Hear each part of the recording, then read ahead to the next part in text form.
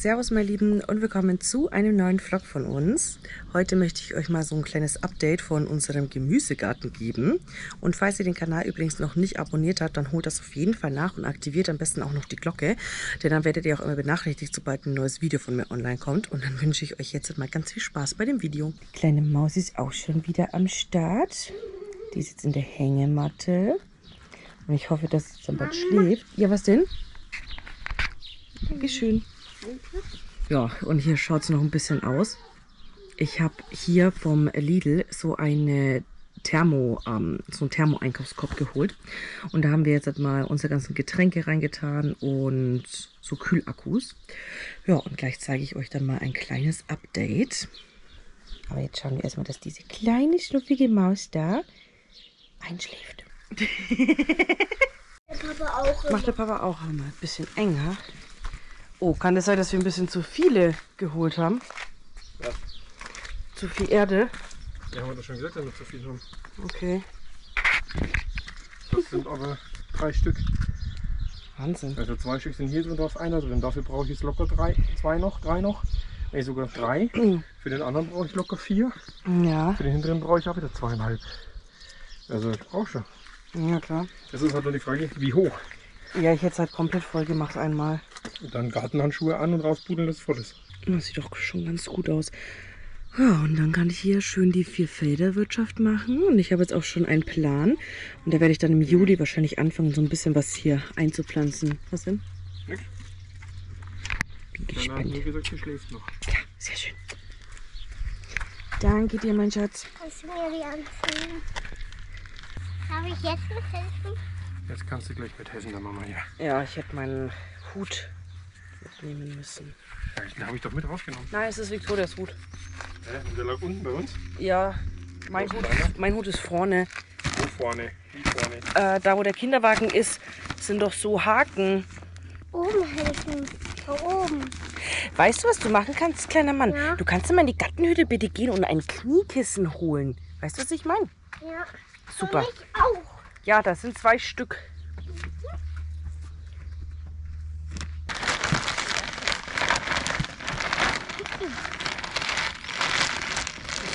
Ja, verkehrt rum, kleiner Mann.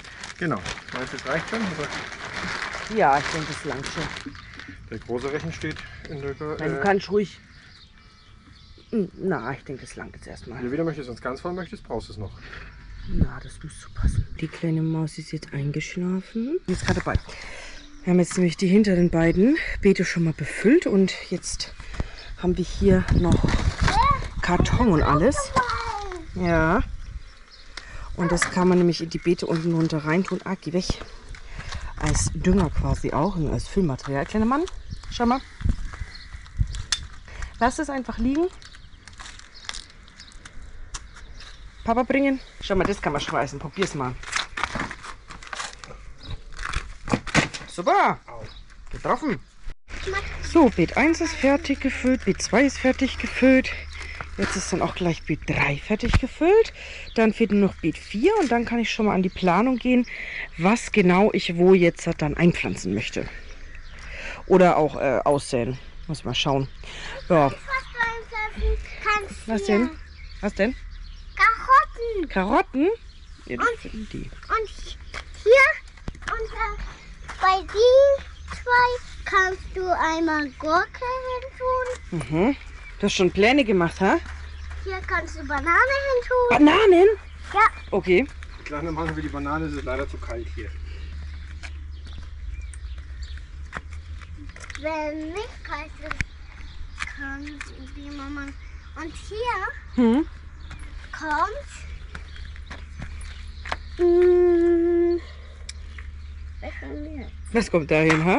Wassermelone. Wassermelone. Okay, also wir haben echt ähm, große Pläne. Sind die Beete fertig? Schau mal, wie schnell mein Auto fahren kann. Ja. Noch planen und überlegen, was wir wann wo pflanzen wollen. Ne, kleiner Mann? Ich weiß, gesagt, Wassermelone, Bananen. Ah ja, stimmt. Da kommt die Gurken, Wassermelone, da kommt Gurke, nee, da waren Karotten und da hinten kommen die Bananen hin. Genau. Das ist der Plan jetzt. Wahnsinn, ey. Also wenn ich den noch leer krieg.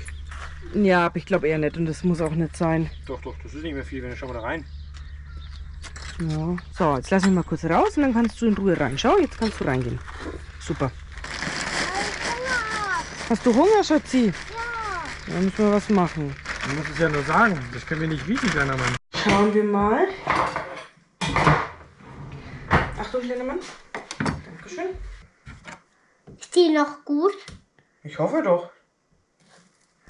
Dann probiere ich sie mal. Oh, das schmeißt in Lidl rein. Ja. Mit Schale. Mit Schale wieder, ja. Ganz viel. Gehst du bitte da weg, kleiner Mann?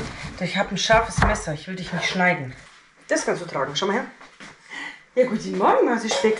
Mm, Mit der Gabel, vielleicht sollen wir sie dir klein schneiden. Ja. Was ist das? Das würde jeder machen, ich kann es auch dahin nehmen. Gucke ich erstmal die Bohnen raus. Ich glaube, ich bestelle auch mal welche. Aus. Und dann sind wir auch schon wieder in der Sonne. Es war gut, dass wir jetzt den Schattenplatz hatten. Ich weiß gar nicht, ob ich schon Hallo gesagt habe, deswegen sage ich jetzt einfach nochmal Hallo. Ähm, wir waren jetzt gerade eben beim Lidl und haben da ein bisschen was eingekauft, denn heute ist Samstag und es tut mir echt total leid, dass am Mittwoch kein Video online gekommen ist. Ich muss ganz ehrlich sagen, ich habe es durch die stille Demenz komplett vergessen. Und jetzt haben wir alles Mögliche eingekauft fürs Grillen, denn wir wollen morgen am Sonntag, also wenn ihr das Video wahrscheinlich seht, grillen. Und dann. genau, da haben wir nämlich jemanden eingeladen.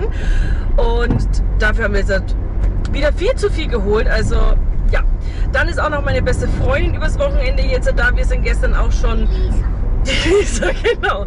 Wir sind gestern auch schon Sushi essen gewesen mit dem Kleinen, also nur mit der Lisa und dem Kleinen waren wir Sushi essen beim Yummy Yummy in Nürnberg. Und mit dir. Genau, ich war natürlich auch dabei, genau.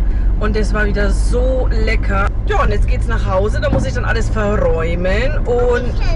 Du hilfst mir, das ist aber echt total lieb. Ich habe aktuell auf meiner Instagram-Seite, da bekomme ich gerade die ganze Zeit Werbung von Lieblingskorb, nennt sich das. Und ich bin wirklich am überlegen, ob ich den hole. Der kostet zwar erstmal schon einiges, aber er hat halt doch sehr, sehr viele Vorteile, weil wir haben vom Lidl, haben wir so einen Thermokorb gekauft für die Kühlsachen. Ich dachte mir so, jetzt für den Sommer ist das vielleicht gar nicht mal so verkehrt. Ja, der ist halt jetzt schon kaputt. Nach nicht mal einer Anwendung ist der schon kaputt gegangen. Das hat mich halt total geärgert. Ich bin jetzt auch am überlegen, ob ich den wieder reklamiere, weil das finde ich natürlich schon blöd. Ich glaube, der hat 10 Euro gekostet. Na, und dafür, dass der dann jetzt schon kaputt ist, naja, ist halt natürlich blöd. Der andere kostet 140 Euro, glaube ich, dieses, oder 130 oder 140 Euro kostet dieses ähm, All-You-Need-Bundle.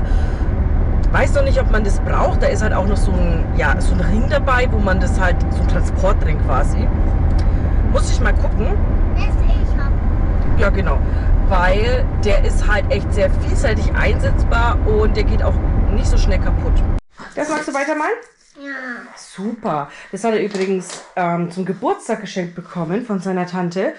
Und deswegen waren wir noch gestern. Lisa, Genau. Genau. Und deswegen waren wir dann noch gestern Sushi essen. Das war quasi sein Geburtstagsgeschenk. Das sind jetzt halt noch die anderen Einkäufe, die jetzt nicht zwingend, dringend in die Kühlung müssen. Das gekriegt. Was hast du gekriegt? Das hier. Stimmt, das hast du noch bekommen, ja. So, das ist übrigens die Box, von der ich spreche. Und die ist halt hier schon gebrochen, da schon gebrochen. Ja, ich meine, so für einen Übergang mal kurz was geschwind haben, das ist gar nicht mal so verkehrt. Und ich habe auch schon alles in den Kühlschrank eingeräumt. Also da ist jetzt alles drin. Hier ist alles fürs Grillen. Normalerweise kommen ja da die ganzen Gerichte rein, aber da wir noch keinen Wocheneinkauf getätigt haben, kommt jetzt alles andere rein. Jetzt mache ich da mal Da habe zu. ich meine Müller vor. Das ist eine Müller-Milch, kleiner Mann, keine Müller-Pur. Schau mal da. Schon mal aufmachen? Nee, ich kann das Kannst du das? Okay. Und da es einfach so unerträglich heiß ist, werde ich jetzt wahrscheinlich noch geschwind duschen gehen. Ich nehme die kleine Maxi-Kuse dann einfach mit ins Badezimmer. Soll ich dir doch helfen, ha? So, wo bist du denn? Ja. Ja, wo? Ja, wo? Ja, wo? Du, kleiner Quatschkopf. So, bitteschön. Ja. So, ich bin auch schon wieder ready und fresh. Das hat jetzt wirklich ja, ein, zwei Minütchen maximal gedauert. Ich mag im Sommer überhaupt nicht dieses Gefühl einfach. Obala, Entschuldigung, kleiner Mann. dieses Gefühl am ganzen Körper zu kleben und alles babbt und bah. Nee, also im Sommer bin ich mal ganz ehrlich, da hüpfe ich auch manchmal zwei, dreimal am Tag unter die Dusche. Vor allem jetzt, wo es einfach so heiß werden soll. Es soll ja heute bis zu 33, 35 Grad werden. Ich habe keine Ahnung, auf jeden Fall viel zu heiß für mich. Und deswegen werde ich wahrscheinlich auch den ganzen Tag hier unten verbringen. Ich habe es jetzt halt gerade mal so ein bisschen ausgehalten draußen, weil wir einkaufen waren. Und wir haben jetzt hier unten auch schon über 22 Grad wieder.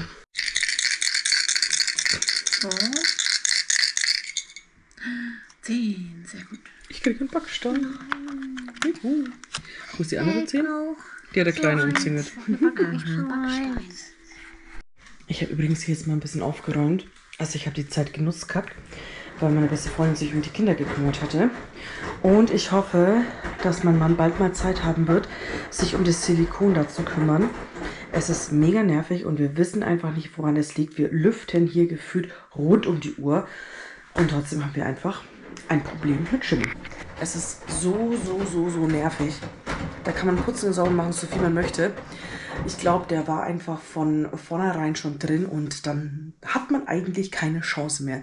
Wenn der Schimmel einmal da ist, dann hilft einfach nur wirklich komplett neu machen. Ja, jetzt habe ich hier einmal komplett aufgeräumt. Der Staubsaugerroboter hat dann gestaubsaugt. Ja, das sind aktuell die Schulsachen von der Großen. Und das Einzige, was jetzt dann noch fehlt, ist das Bett zu machen. Aber soweit habe ich jetzt hier mal alles erledigt. Ich habe übrigens mal die Pflanze jetzt hier hinten hingestellt. Und ja, der Schrank kommt hoffentlich bald raus, weil der nervt einfach nur noch.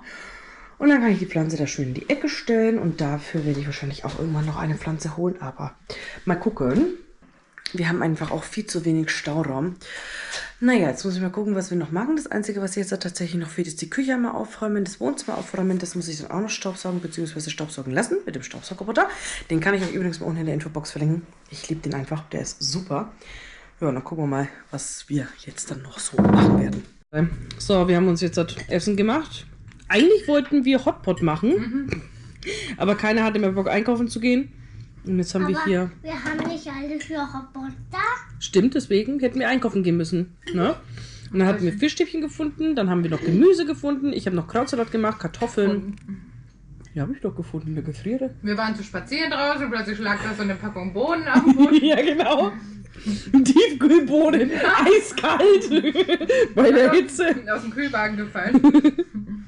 Ja, das essen wir jetzt. So, mein Lieben, es ist übrigens unerträglich heiß hier. Wir haben um die 23, 24 Grad und das hier unten einfach, es ist wirklich nicht gerade angenehm aktuell. Und ich muss natürlich auch gucken, dass ich viel trinke, weil die Kleine bei den Temperaturen natürlich auch des Öfteren mal trinken möchte. Hat natürlich auch Durst. Morgen am Sonntag ist jetzt der Plan, dass wir grillen. Ich bin auch mal gespannt, ob das Wetter mitmacht. Ich hoffe es natürlich. Und ansonsten haben wir auch vor, meiner besten Freundin. Ich habe sie gefragt, ich habe ehrlich gesagt nicht mal mit so einer Antwort gerechnet. Ich habe sie aus Gag gefragt, ob sie denn die Geburt sehen möchte. Also halt wirklich die Geburt an sich, wie es eben rauskam. Und sie so, ja, warum nicht? also werde ich ihr wahrscheinlich dann morgen die Geburt zeigen.